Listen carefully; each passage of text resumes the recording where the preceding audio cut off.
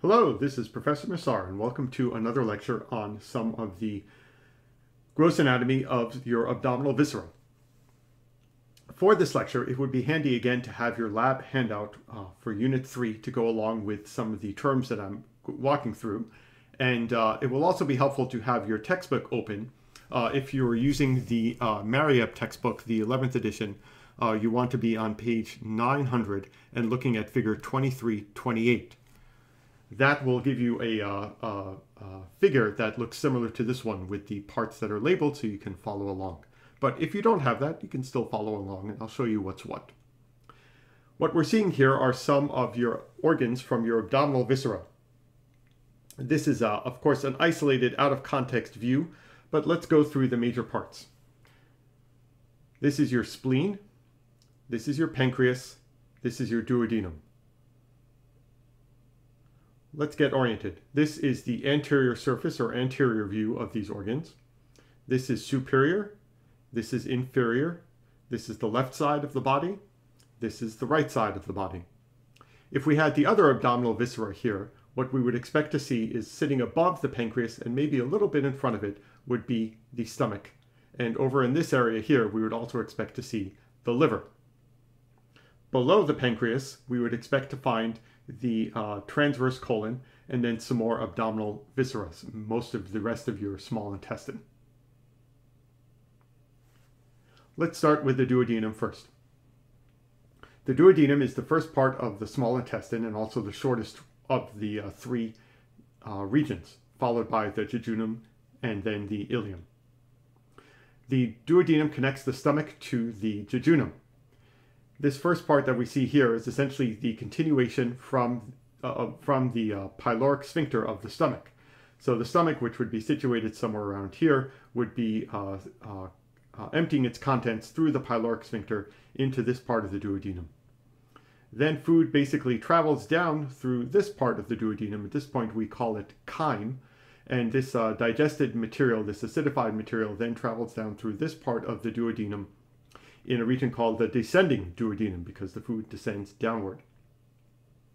It is in this part of the duodenum that uh, you find this small little structure here, which is called the uh, major duodenal papilla.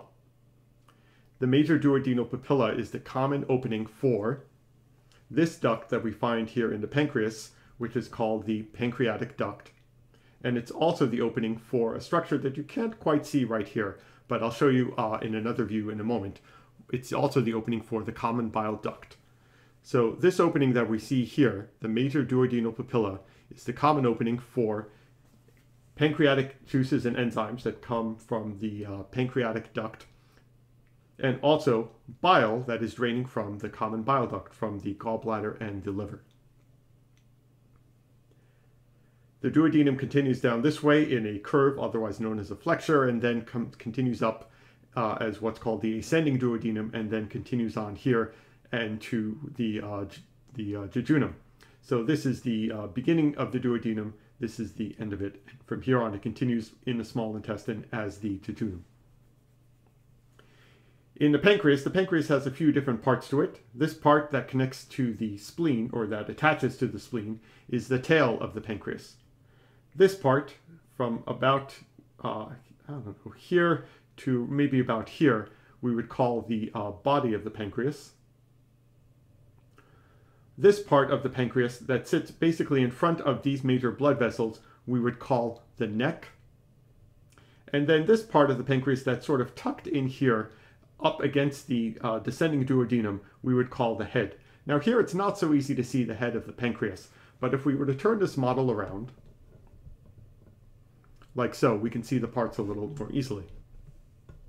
So again, here is the spleen. Here is your duodenum. Here is the pancreas. This is the tail, body. The neck would be up here, and the head would be here. You see this green structure coming down here, this green tube? What is that? You may recall that this is a tube that's coming from both the gallbladder and also from the liver. And so we call this tube that's right, the common bile duct. These blood vessels, this is your uh, inferior vena cava, and this may be either, uh, I think it's a branch of your, this is your, maybe your, uh, hmm, I'm trying to decide whether it's your uh, abdominal aorta or a branch coming off your ad- abdominal aorta, and they just left the abdominal aorta off of this. Uh, I don't think it really matters for the sake of this uh, figure. One of your anatomy instructors who's smarter than me can tell you. What's also missing here from this figure is a, a portal vein, a portal vessel that is draining the blood from your digestive tract, taking it back to the liver. I guess they left it out just to uh, keep the model from getting too complicated. But in any case, those are the uh, structures that we want you to appreciate in this model. Thanks.